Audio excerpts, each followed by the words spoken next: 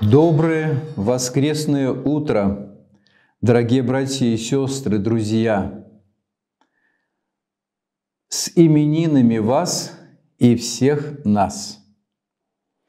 Сегодня Церковь, исчисляя лики всех угодников Божьих, воспевает «Придите все духовно возвеселимся о памяти святых. Сегодня наша православная церковь празднует память всех своих святых.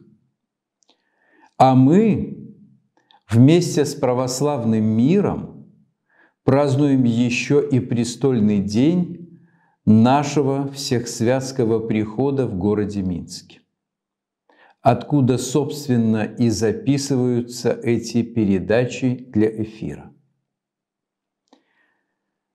Сегодня мы празднуем память тех, кто были прославлены людьми, и тех, которые остались прославленными, но не людьми, а только перед лицом Божиим.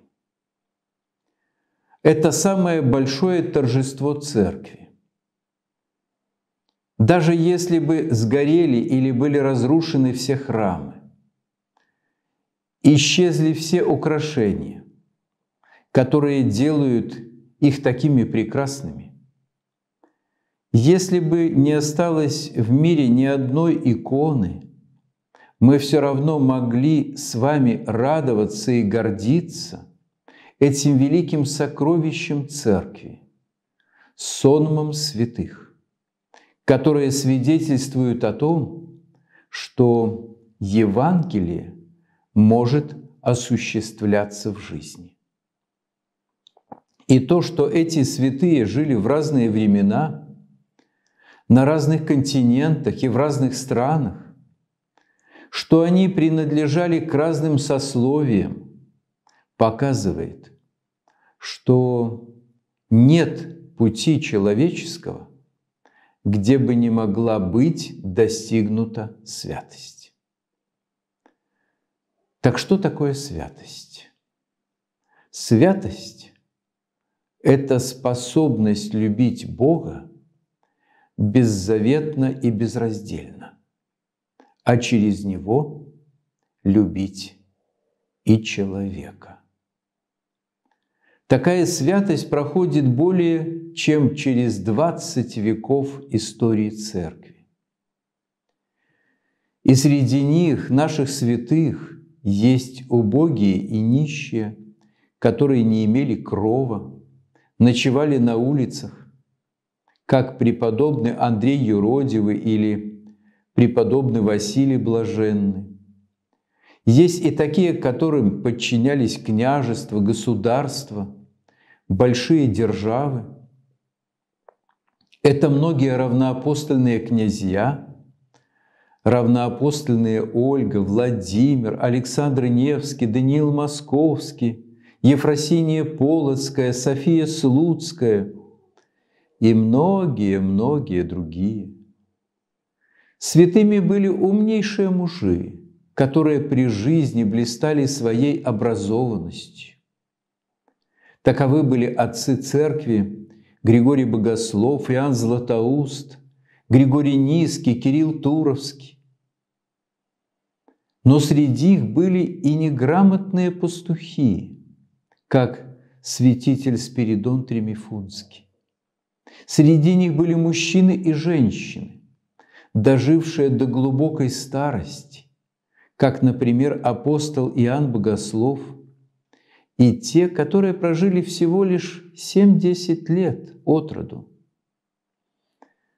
Такие, как мученицы Вера, Надежда и Любовь, младенец Гавриил Белостоцкий. Среди них есть люди, которые отдали свою жизнь за исповедание веры Христовой проявили мужество, проявили готовность стоять до конца. Среди них есть подвижники, которые молились, и молятся за весь мир. Давайте вглядимся. Целый сон, если посмотреть на века, какое радостное зрелище. Сколько людей, которые просияли и сияют, как звезды на небосклоне церкви. И когда мы думаем, как слаб человек, как он порой низок и гадок и недостоин своего человеческого призвания, эти мрачные мысли сразу же развеиваются. Стоит только взглянуть на сон святых, которые поддерживают надежду церкви, что род человеческий не падет. Все они внесли и вносят в нее свой посильный вклад. Люди с разных концов земли, каждый народ и каждая страна дали свое детище, своего святого. И поэтому лучшее, что есть в каждом народе, всегда воплощалось в этих святых. Так наша земля, Белая Русь, Беларусь, воплотилась, как мной уже упоминалось, в святителе Кирилла, Кирилле Туровском и преподобной Ефросинии Полоцкой, Афанасии Брестском и Софии Слуцкой, и Улинии княжне Альшанской, матушке Манефе Гомельской и многих-многих других. А самое лучшее в греческом народе воплотилось в греческих святых, святых отцах, лучшее народов Италии в сонме исповедников и мучеников. А Черная Африка дала нам блаженного Августина, священномученика Киприана. У нас даже в каждой области есть свои святые – а еще давайте вспомним, что татарский народ дал нам преподобного Пафнутия Боровского и благоверного князя Петра, царевича Ордынского.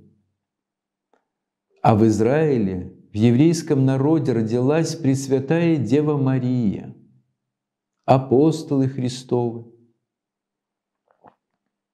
В каждой стране есть люди, которые являются свидетелями Божьими. О чем же они говорят? О чем свидетельствуют? Они призывают нас к тому, чтобы, как говорит апостол, подражать их вере. И о себе он, апостол, говорит, подражайте мне, как я Христу. Вот он, смысл нашего праздника. Вот почему сегодня мы особо молимся и призываем святых. Вот почему их изображение в храмах всегда на первом месте. На иконостасах, на стенах, на потолках. Каждый день церковного года, если мы откроем календарь, Каждый день имеет по несколько святых, память которых отмечает церковь. И вот когда человек живет в церкви, когда он начинает в ней жить с младенчества, жить в ее духовном поле, он получает от нее благословение, благодать.